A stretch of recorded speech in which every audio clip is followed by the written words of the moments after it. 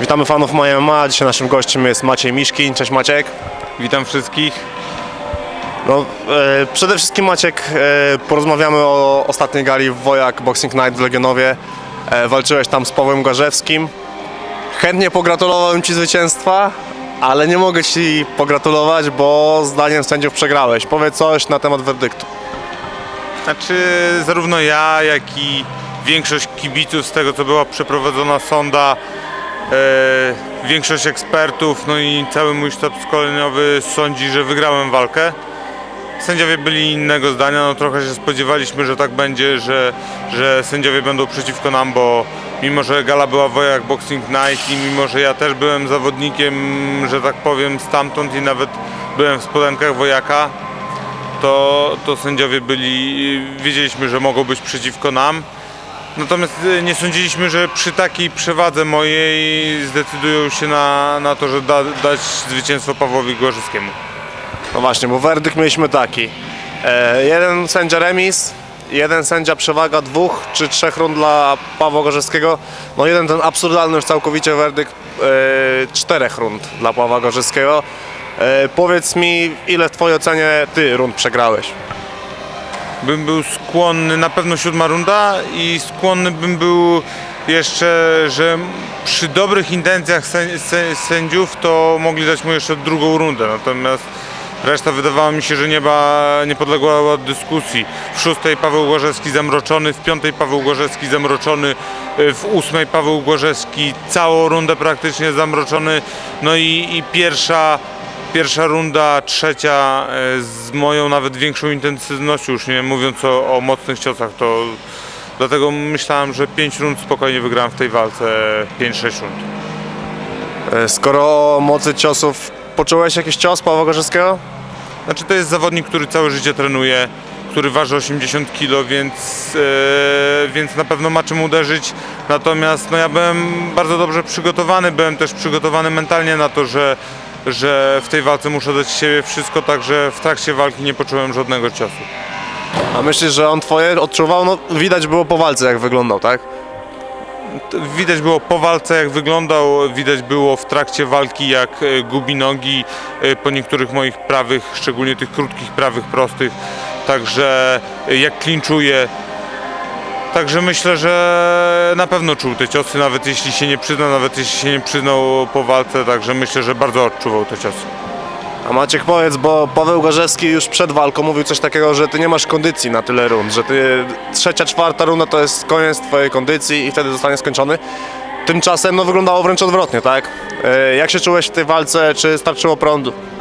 E, Czułem się bardzo dobrze, e, nawet jak wychodziłem do wywiadu, to, to już czułem się całkowicie wypoczęty. W przeciwieństwie właśnie do Pawła Gorzewskiego, który potrzebował kilku minut oddechu, żeby e, przeprowadzić można było z nim wywiad i myślę, że żeby było jeszcze dwie rundy więcej, to to walka nie musieliby rozstrzygać sędziowie, tylko sam bym rozstrzygnął na swoją korzyść i skończyłbym Pawła przed czasem. A powiedz Maciek właśnie, bo e, sam wcześniej powiedziałeś, że wiesz jakby, że to Paweł jest tym pupilkiem e, promotora e, tej gali. E, próbowałeś, dlaczego, może, może nie dlaczego nie, nie, go, nie, nie, go nie znokautowałeś, no bo to głupie pytanie, ale czy, czy czułeś, że mogłeś to zrobić? Znaczy zabrakło trochę tego doświadczenia, nawet nie doświadczenia, tylko regularności startów. Ja miałem bardzo długo kontuzję, później wystartowałem raz, e, szybka porażka w trzeciej rundzie z Vincentem Weigenbucem e, i po prostu zabrakło mi tych rund w ringu. E, Żeby, żeby było trochę więcej, żebym miał dwie jeszcze więcej walki przed, przed starciem z Gorzewskim, to myślę, że bardziej bym się nastawił na akcenty i, i tę walkę skończył. Natomiast tu jak trafiłem, za wszelką chcia, cenę chciałem go dobić i nie we wszystkich ciosach była moc. No, na pewno błąd z mojej strony, ale, ale i tak dałem z siebie wszystko, jakieś tam założenia taktyczne, które przed walką miałem realizować, e, zrealizowałem. No i, i jestem generalnie zadowolony z obrazu tego pojedynku, zadowolony jest mój sztab szkoleniowy, także tylko teraz trzeba ćwiczyć, szkolić się dalej, żeby następnym razem takich sytuacji nie było. A czemu tyle złej krwi było między tobą a Pawłem Gorzewską? I na konferencji, i wywiadach przed walką.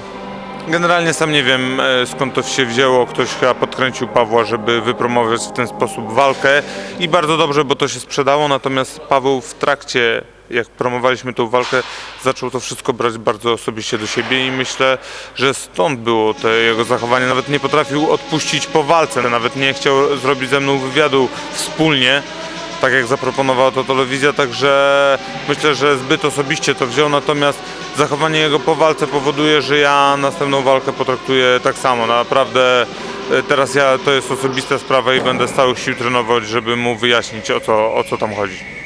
Skomentuj może Maciek e, wypowiedź Pawła Gorzewskiego właśnie po walce, e, w której powiedział, że ty i tak nie zasłużyłeś na walkę z nim i to była twoja walka życia.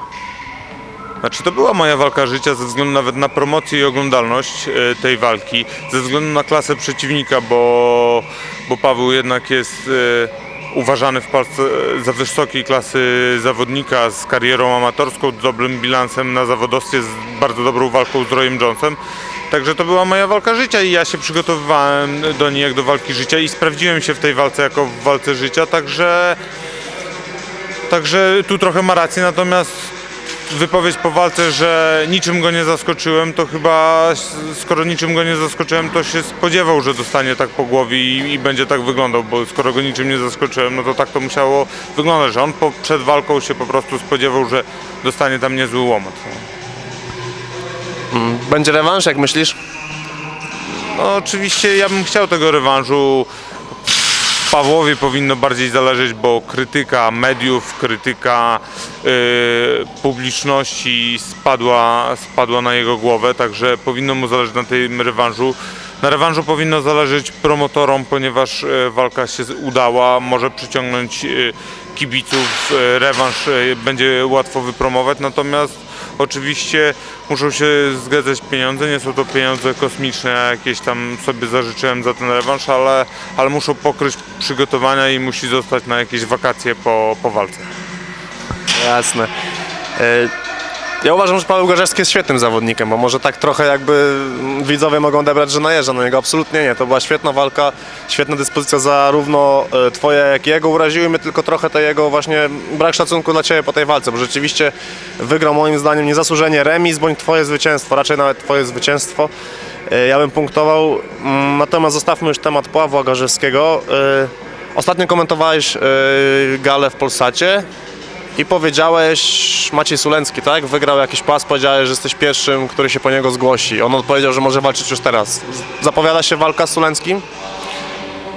Wszystko zależy od promotorów, na, natomiast no, y, komentowałem tą walkę dla Polsatu, on, Polsat myślę, że byłby zainteresowany takim starszym. Ja uważam, że mógłbym wygrać z Maćkiem Sulenckim. Uważam też, że byłaby to dobra walka dla kibiców, ponieważ Maciek Sulencki nie odchodzi nawet kroku w tył.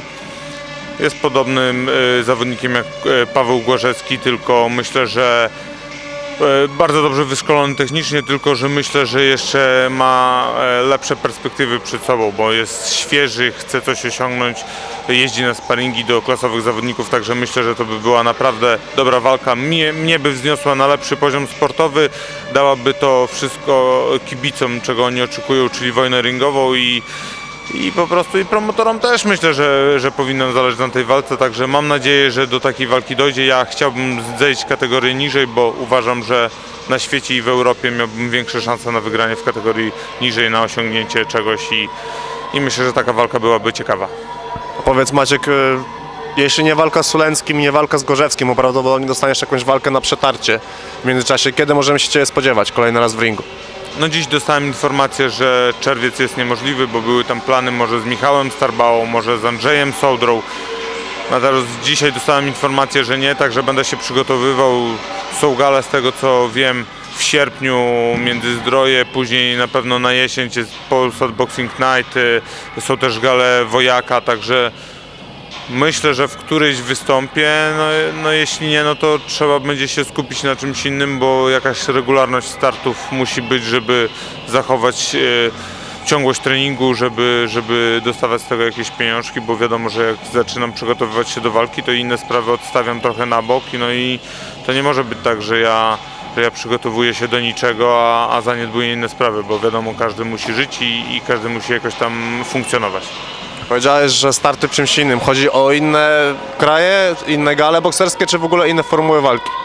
Nie, mówię raczej o pracy zawodowej jakiejś innej, niezwiązanej z boksem, bo bardzo bym chciał boksować, natomiast mówię, e, ja nie będę wychodził do ringu e, w ten sposób, że 5 dni w tygodniu pracuję gdzieś, a później sobie na weekend dorabiam, bo to jest brak szacunku dla kibiców. To jest wiele przykładów, gdzie pięściarze tak robią i e, wychodzą tylko po wypłatę. Ja nie chcę być takim pięściarzem. Jeśli mam się mierzyć z kimś, to muszę być perfekcyjnie przygotowany. Ze względu nawet na, e, na moją rodzinę, która się bardzo stresuje przed walkami, ze względu na kibiców, którzy chcą obejrzeć, płacą za bilety, płacą za transmisję i, i chcą oglądać dobre walki, a nie, nie chcę być takim przysłowiowym journeymanem. Maciek, ostatnie pytanie może na koniec. Odwiedzacie często razem z Jankiem Błachowiczem, z Danielem Jeleńczukiem, z Juhasem e, zakłady karne. Co na celu ma, mają właśnie te wizyty? często resocjalizację, często e, ja jestem człowiekiem wierzącym i, i, i w Biblii jest napisane, że, że należy odwiedzać i chorych w szpitalach, i, i więźniów w więzieniach. Także staramy się świecić jakimś tam przykładem, bo pokazać im, że jest jakaś droga. Może niekoniecznie każdy z nich e, może wybrać drogę sportu, natomiast jakieś tam każdy ma swoje marzenia i może się realizować w jakiś tam sposób i na pewno e, sportowcy, szczególnie sporty walki, jakieś mają tam znaczenie, bo wiadomo, że siła fizyczna odgrywa dużą rolę w więzieniu, czy- czyli mamy jakiś posłuch i, i staramy się staramy się tym ludziom jakoś pokazać taką drogę, dać, dać trochę otuchy, dać coś nowego, bo, bo wiadomo, że ta codzienność w więzieniu jest taka sama, że stajesz, budzisz się, jesz, robisz coś tam sobie pod celą, natomiast takie spotkanie na pewno im trochę daje, także jeśli mogę się z tym podzielić z innymi, no to, to bardzo chętnie. Okej Maciek, dzięki serdecznie za wywiad. E, Mam nadzieję, że niebawem zobaczymy Cię po raz kolejny w ringu. To była świetna walka. Dzięki. Dziękuję i pozdrawiam wszystkich.